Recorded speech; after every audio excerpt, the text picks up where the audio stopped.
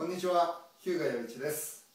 えーそれでは今回も、えーまた、えー聖書の教える幸せな夫婦ということで、えーお話をしていきたいと思います、えー今回はですねあのえー創世記2章24節のところですけど、えーはいえーそれゆえ男はその父母を離れ、えー妻と結び合い二人は一体となるのであるというところから、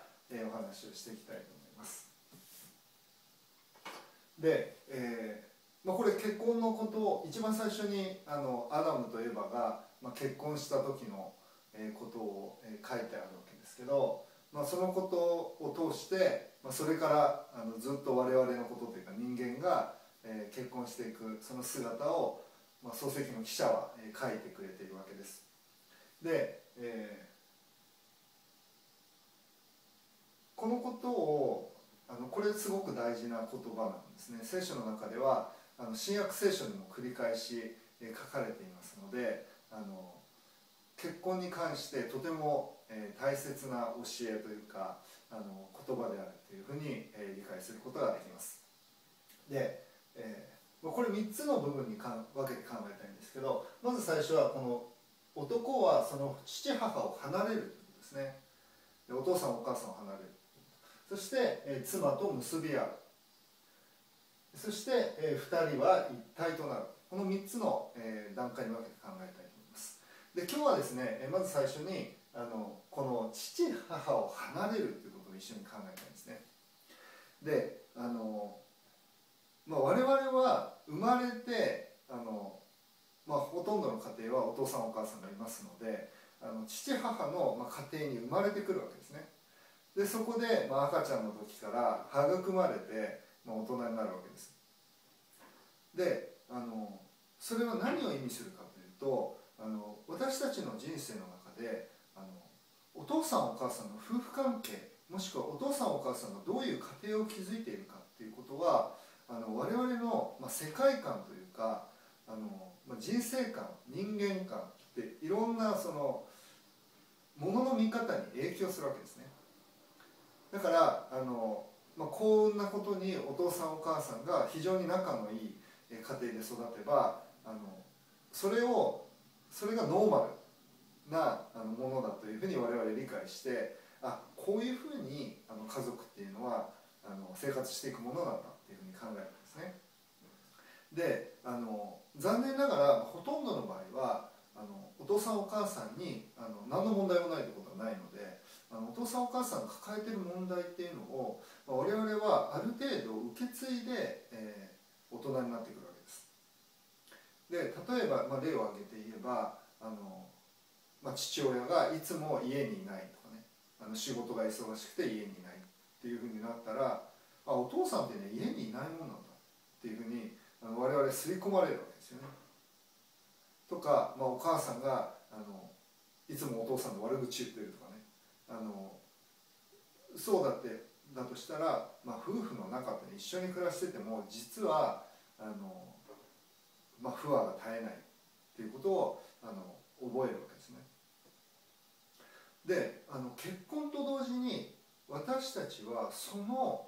お父さんお母さんが作ってきた家庭を離れるっていうことがとても大事なわけですね。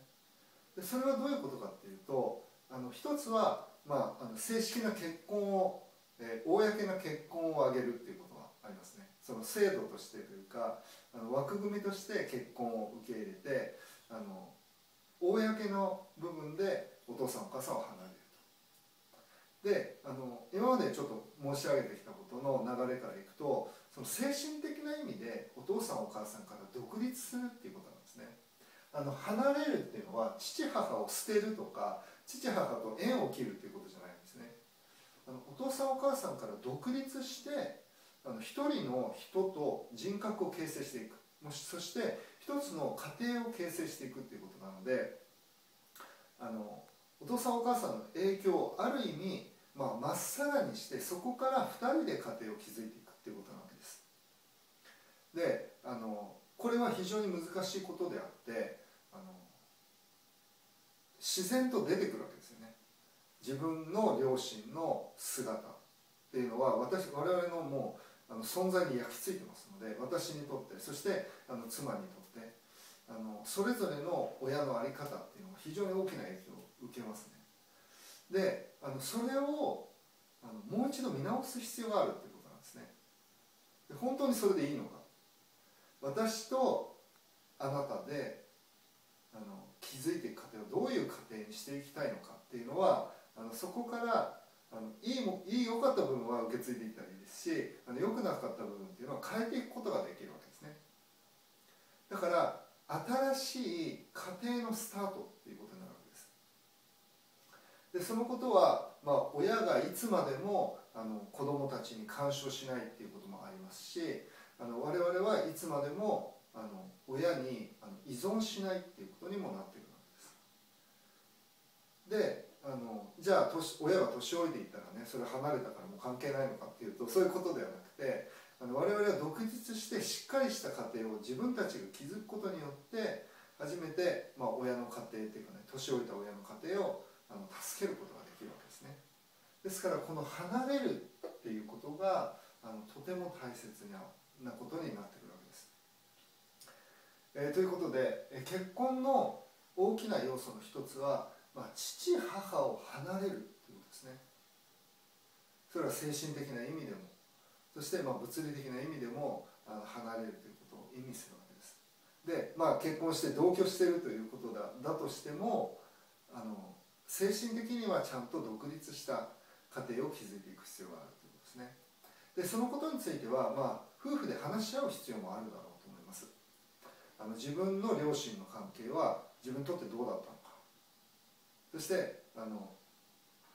どういうところを、まあ、模範としてね見習っていってどういうところをあの、まあ、良くなかった模範として改めていきたいのかっていうことをあの話し合うこと、まあ、結婚前でも、まあ、結婚してからでも話し合うことはとても大切なことです。ですからあの愛し合う2人夫婦となる2人は父母を離れる。ということを、え今回は覚えておきたいと思います、え次回はですね妻と結び合う、どのようにして心の結びつき、を築いていくのか信頼関係を築いていくのかということをお話したいと思います、まだ私の、メールマガジンを、購読してくださっていない方は、この動画の中または、ウェブサイトにリンクがありますので、無料のメールマガジン、読むことができます。そしてこのような動画のご紹介をメールで差し上げていますので、え、ぜひ登録してみてください。それでは今日はここまでにしたいと思います。どうもありがとうございました。